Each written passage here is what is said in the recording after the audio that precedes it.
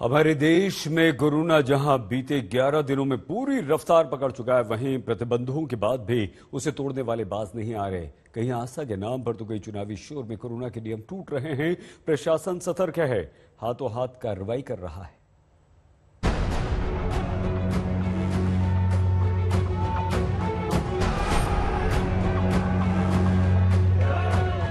आगे मकर संक्रांति है और उसकी तैयारियाँ भी जोरों पर हैं। जोरों पर कोरोना भी है और इस बीच सूरत के पतंग बाज़ार की ये तस्वीरें होश उड़ा रही हैं। मकर संक्रांति से पहले यहाँ कोरोना से बेखौफ भीड़ जमकर पतंगों की खरीदारी कर रही है। कोरोना नियमों की अनदेखी और ये मनमानी भारी पड़ सकती है। खास तौर पर मंगलवार को सूरत में कोरोना के 2124 नए मामले सामने आए थे।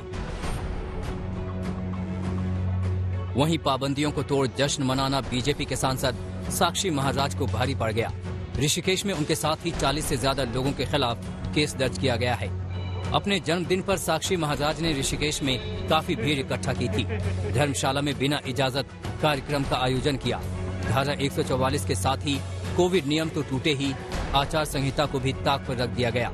उत्तराखंड में चुनाव के ऐलान के बाद से आचार संहिता लागू है। इस बीच साक्षी महाराज न केवल एक धर्मशाला में पहुँचे, बल्कि वहाँ सबके साथ खाना भी खाया। प्रशासन को खबर मिली तो वो तुरंत मौके पर पहुँचा और कानूनी कार्रवाई शुरू कर दी। ऐसा ही मामला यूपी के शरावस्ती में भी सामने आया। चुनाव आयोग की पाबंदी के बावजूद पूर्व विधायिका इंद्राणी वर्मा ने जनसभा की और माइक थामकर मंच से चुनावी भाषण भी दे दिया। बहुत कम समय में हम लोग आपके बीच में आए हैं। और हमारी भारी संख्या में बहनें खड़ी हैं, बच्चे खड़े हैं। तो सामने बैठे हमारे बुज़ुर्ग नौजवान भाई, भारी संख्या में लोग खड़े हैं हम लोगों की बातों को सुनने के लिए। ये वीडियो जब वायरल हुआ तो पुलिस एक्शन में आई। पूर्व एमएलए समेत करीब 150 लोगों पर अलग अलग धाराओं में केस दर्ज कर लिया। तो त्योहार हो या चुनावी उत्सव, कोरोना की तेज रफ्तार के बीच इनमें हो रही लापरवाही भारी पड़ सकती है। अहमदाबाद में गोपी घांगर ऋषिकेश में कृष्ण गोविंद कंसवाल और श्रावस्ती में पंकज वर्मा के साथ आज तक ब्यूरो।